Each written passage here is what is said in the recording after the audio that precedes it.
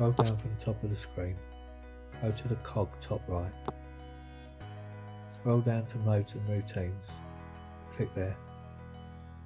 Routines bottom right. Click there.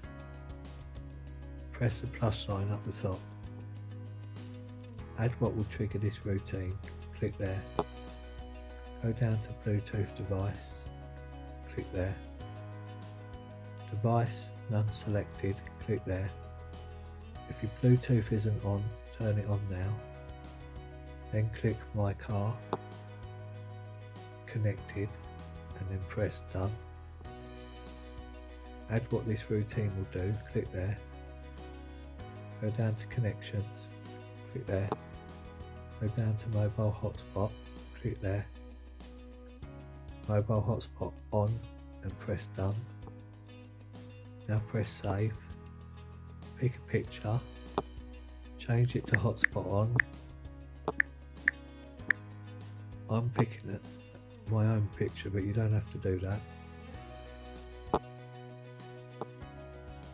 Press done. Press the cross again, top right. Add what will trigger this routine. Scroll down to Bluetooth device. This time we want to select disconnected Device none selected. Click there.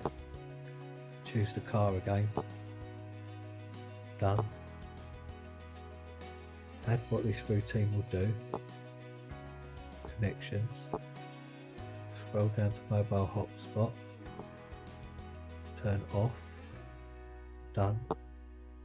Add action. Go back to connections.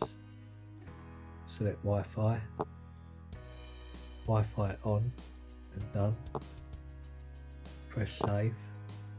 Again pick your picture, change it to hotspot off.